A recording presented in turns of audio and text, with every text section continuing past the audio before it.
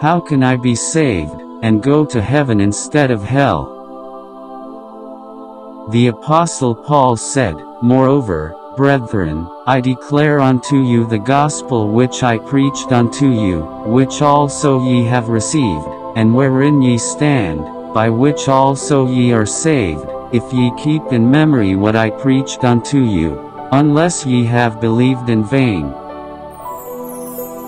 For I delivered unto you first of all that which I also received, how that Christ died for our sins according to the Scriptures, and that he was buried, and that he rose again the third day according to the Scriptures. 1 Corinthians 15, 3 through 4. That, my friends, is the gospel message given to us by God that is able to save our souls and break the chains of sins in our lives. Now, let's recap. 1. Jesus died and shed his blood for our sins. 2. Jesus was buried for three days in the tomb. 3. Jesus arose from the dead victorious over death, hell, and the grave. Now you may ask, what does that mean to us? As it says above, it is the gospel through which we are saved. Saved from what you may ask? Saved and delivered from eternal separation from God in the lake of fire.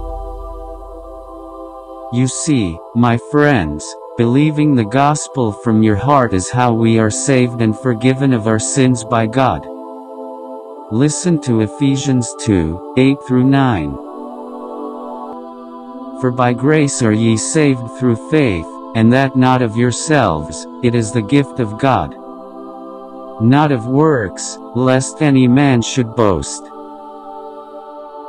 Remember, Jesus paid our sin debt when he died and shed his blood on the cross, and now offers us his righteousness in return as a free gift. In other words, Jesus is saying, You give me your sins, and in exchange I'll give you my righteousness. All we have to do is receive that gift by faith. There are no amount of good works that will break the chains of sin and get you to heaven.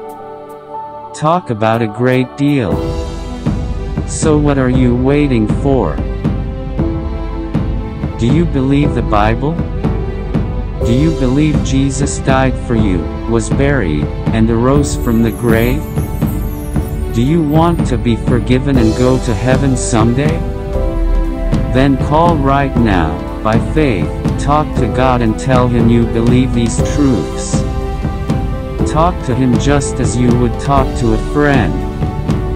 He will always listen. 1. Tell him you're a sinner and can't save yourself. 2. Tell him you believe Jesus died for your sins on the cross. 3. Tell him you want to be saved, forgiven, and made part of his family and go to heaven someday. Just as, the publican, a sinner, standing afar off, would not lift up so much as his eyes unto heaven, but smote upon his breast, saying, God be merciful to me a sinner. God be merciful to me a sinner. For whosoever, that means you dear friend, shall call upon the name of the Lord shall be saved. Romans 10:13 don't put it off any longer I plead with you. Today is the day of salvation. You may not live to see another day. God sent this message just for you. Tomorrow you could be in hell. So by faith, right this minute, believe in Jesus' death, burial, and resurrection, and call upon Him. He will surely break those chains of sin, forgive and save you. That's a promise, and it's impossible for God to lie. Now, if you did call upon Jesus to save you, would you let others know as a witness so we can rejoice with you? Jesus isn't ashamed of you, so you should not be ashamed of him. So if you believed and received the gospel message for the very first time, post in the comments, or simply email these two words. I believe. To this address.